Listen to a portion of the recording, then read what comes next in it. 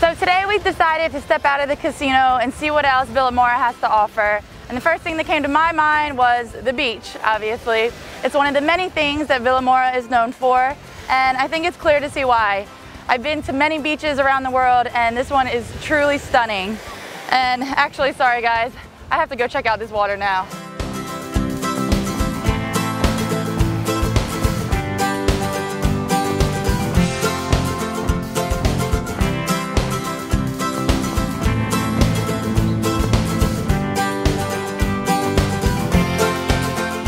Along with its gorgeous beaches, Vilamoura is also known for its marina. The Vilamoura Marina is actually the largest marina in Portugal with the capacity to hold over a thousand vessels. You can also enjoy lots of fun activities here, such as jet skiing, boat tours, parasailing, and scuba diving.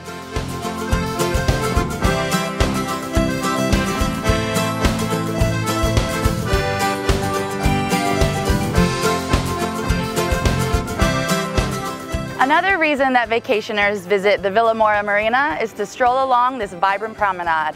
It's lined with shops, restaurants, cafes, and bars, so there really is something for everyone.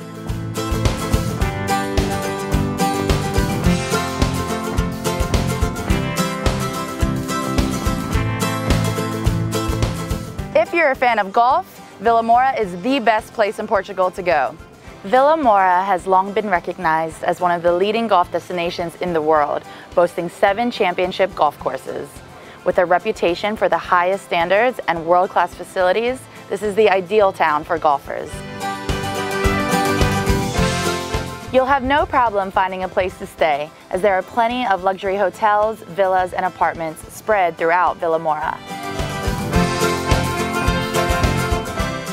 So, as you can see, there's so much to enjoy here in Vilamoura, and it's all just minutes away from this fabulous casino.